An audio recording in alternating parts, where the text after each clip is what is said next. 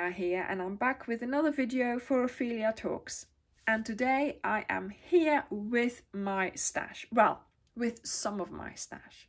With my stash that needs attention. So this here, I really need to pay some attention to, cake it up, sort it out and use it. Here I found all these cakes that I made a couple of years ago when I first got my yarn winder and I was cake making obsessed. So I also want to use up these cakes. And so for the challenge that I posted this month, hashtag crochet everyday November, I have decided I am going to make a blanket of all this yarn and I have finally decided on the pattern. And so I did get started a couple of days early because I just couldn't wait anymore. So I am going to show you in a moment the pattern that I have been working on and the tutorial for that. And so let's hope and pray that I can use up all this in that blanket. So apart from my leftover stash yarn, I'm going to be using some stitch markers, my three and a half hook, seeing that I'm using Stylecraft Special DK, so a DK thickness. I am also going to be using my darning needle to sew in the ends and of course scissors to cut off the yarn. Now to get started on this blanket, we are going to start chaining and the multiple in this blanket is 25 chains. So from stitch marker to stitch marker, this is a repeat and these are 25 chains. So the easiest way that I decided to start this blanket was just to chain 25, then put a stitch marker in and then chain again 25 and again and again. So I did that nine times. So let's get started. Do your slip knot, insert your hook and you're going to chain 25. So one, two, three, four, five, six, seven, eight, nine, ten. One, two, three, four, five, six, seven, eight, nine, ten. One, two, three, four, five. There we are. And you place a stitch marker.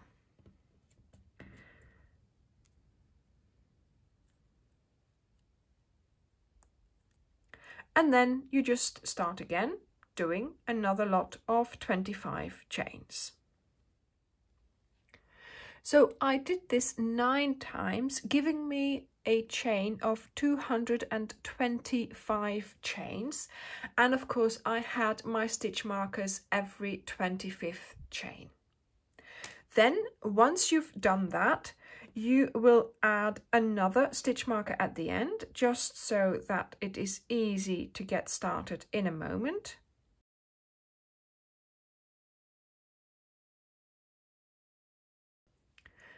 And then we are going to add three chains. So one, two, and three. These three chains are your turning chain. And indeed, in this project, I am going to be chaining three for my turning chain because the chain is used slanted. So you'll see what I mean in a moment. So then we are going to skip five chains. One, two, three, four, five.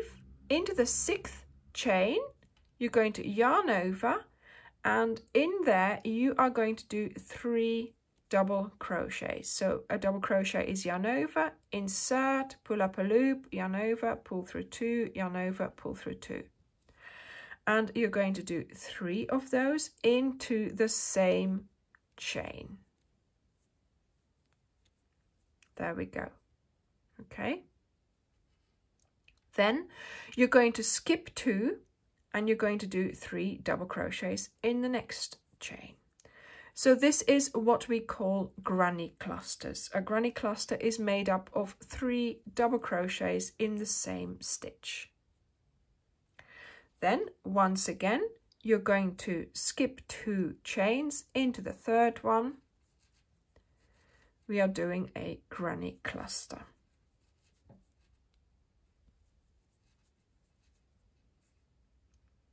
And same thing again, skip two into the third chain for another granny cluster.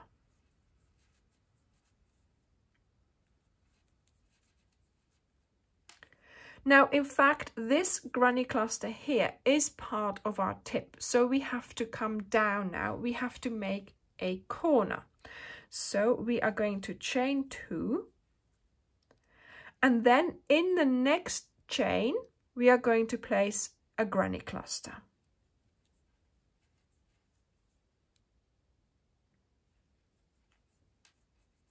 Now we go. Oh.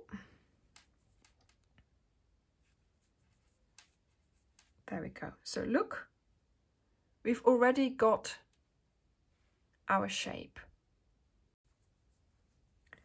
And then we are going to skip two and place a granny cluster in the third stitch.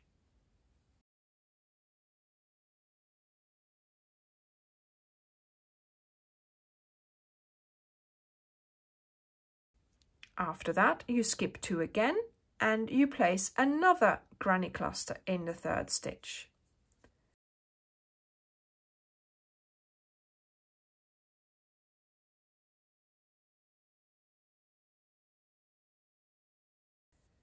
And then you do this again, skip two and another granny cluster in the third stitch.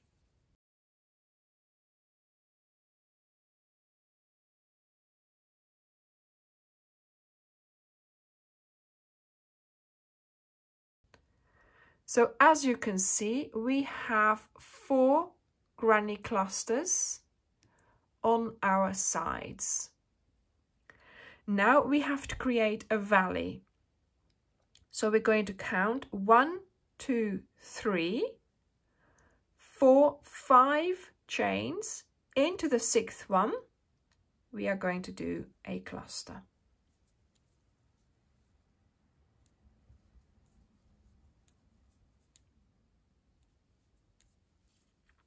There we are. And look, we've created a valley. And then we are going to do the same thing again. So we skip two into the third for a granny cluster.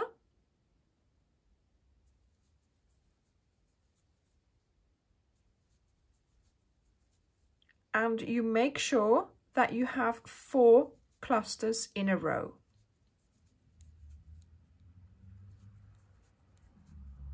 one, two, three. And here is my fourth one.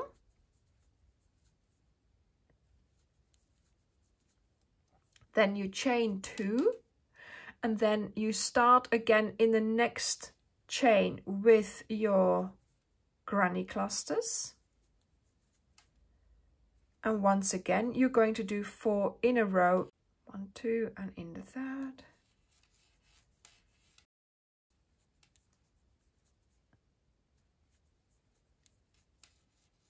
One, two, and in the third.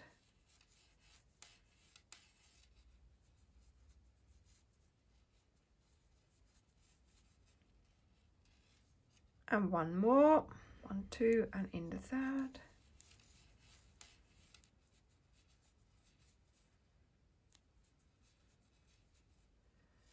There we go. So if you now lay this down, obviously don't pull it but look it goes up and down up and down.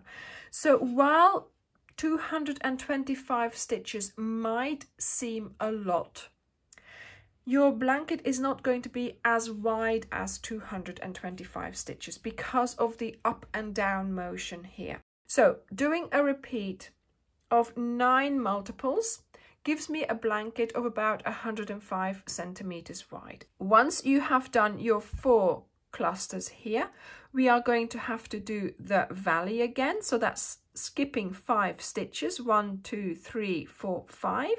Into the sixth one, you will start your sequence of your four clusters again.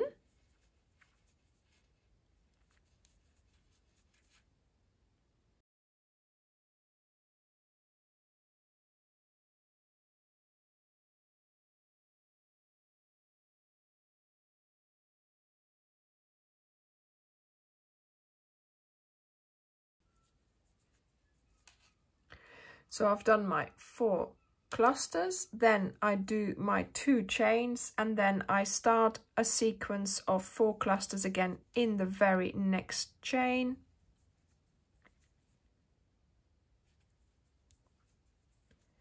And you work your way all the way to the end of the chain that you prepared for your width of blanket. Of course, I'm here only doing three repeats because obviously my blanket is here.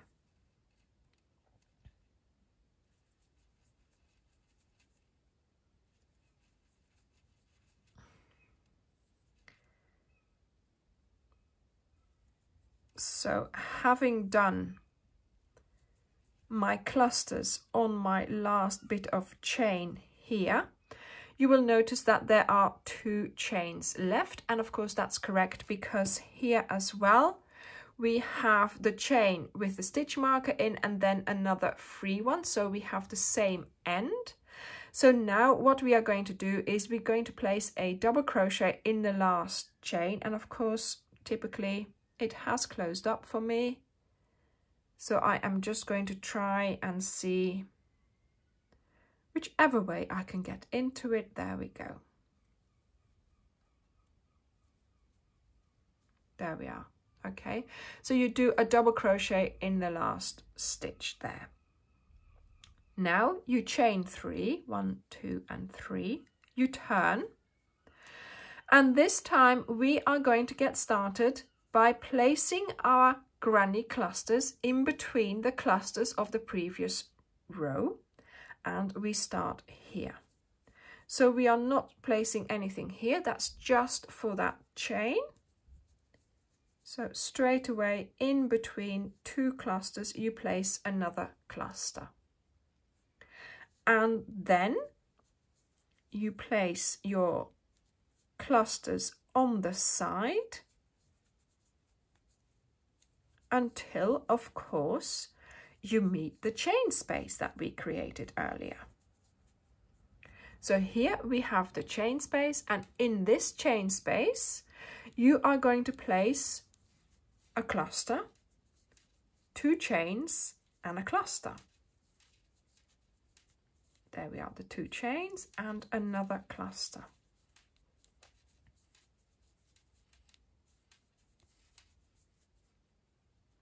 See? And so this way you can see that this side is going up like this. And then here we have done our first tip. Now we are going towards the first valley. So let me just show you how to go about doing that. So you start doing your clusters in between the clusters of the previous row. And you have to make sure that you do four clusters each side. So here is where I'm going to be doing my fourth one. There we go. So I've done my four. And of course, four is enough. So I'm here at the valley but I don't need to do one here because I've done my four. So I'm just going to go over to the next location on the next side where I'm going to be starting my cluster. So basically you're skipping these two clusters here and straight away you're going in between the next lot. Let me just show you. Always impossible to get hold of that stitch marker. There we go. Okay, so you've got your four clusters here. We've skipped in the middle here in the valley and now we are starting on doing the granny clusters on our next side. Going up to the tip. I am already in this chain space where I am doing a granny cluster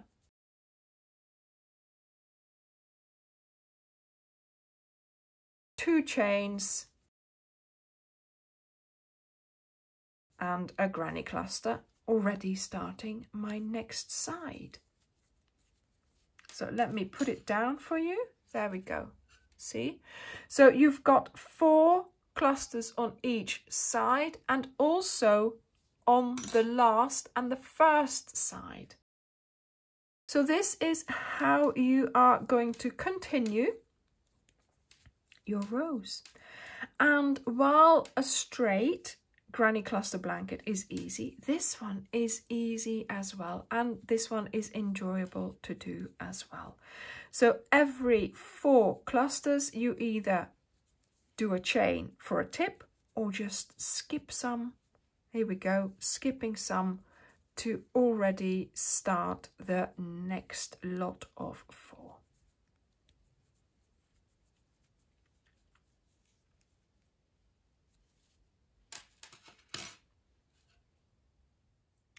So when you come to the end of your row, you do your last cluster in between those clusters. And then here you're just going to place a double crochet. And to be honest I've just been placing them around. You should be going into the stitch like I did here but sometimes you just can't get into it. So that's what I've been doing. So then you chain three, you turn and you get started again straight away by doing a cluster in between the clusters.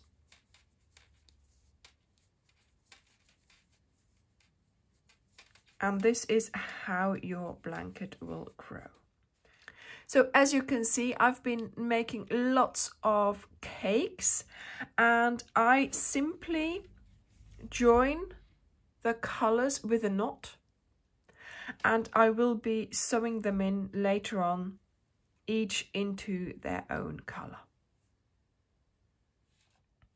So I have been very industrious already and I have done quite a few rows already. So this is the blanket that I'm going to be working on for the crochet challenge that I started for the month of November. So hashtag crochet everyday November is a challenge that I am posting lots of updates on on my Instagram and so some of you might have already seen this blanket has grown in the meantime but of course when I filmed this tutorial this was where I was at. So I'm really enjoying making this. It's a mindless project. It's a bed project. It's something that I can do every day, basically. So I'm going to have lots of fun trying to sort this mess of a stash out. And I hope to see all your updates on the challenge. So don't forget to post all your updates with the hashtag crochet everyday November. Thank you very much for watching and I will see you in the next video. Bye!